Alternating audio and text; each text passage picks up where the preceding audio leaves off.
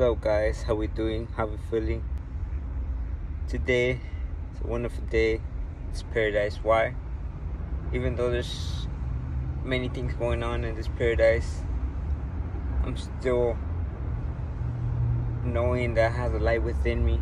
That there's nothing that's gonna stop me from seeing the greatness in this during these circumstances.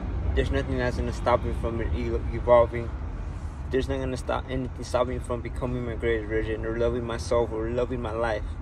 Everything happens for a reason, and that's the reason I'm continuing to to learn through all this. It's just a wake up wake up call for us to actually acknowledge that love can always win. Love over fear. Even though there's many things going around, you either choose to join them or either make your own path. And you could do that by doing something that's gonna impact your life to impact your future. Some, something you're gonna think yourself within 10 years. That's why if you're gonna do something today, make sure you're gonna thank yourself. Don't let anything discourage you from what's going on. You're the you're the creator of your reality. So choose wisely on what you like to do in this paradise. Because it's going to come back to you either way. Be grateful that you're here. Don't be discouraged to say that life is shit.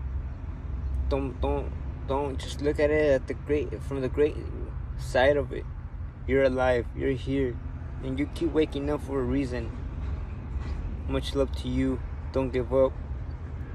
You're an amazing individual. Just in case anyone you haven't heard it from anyone else. You're an amazing individual because you're here. You're staying strong. You ain't giving up. Have a great one. Alchemistic Light, Juan Pacheco here speaking. Living and learning. Breathing.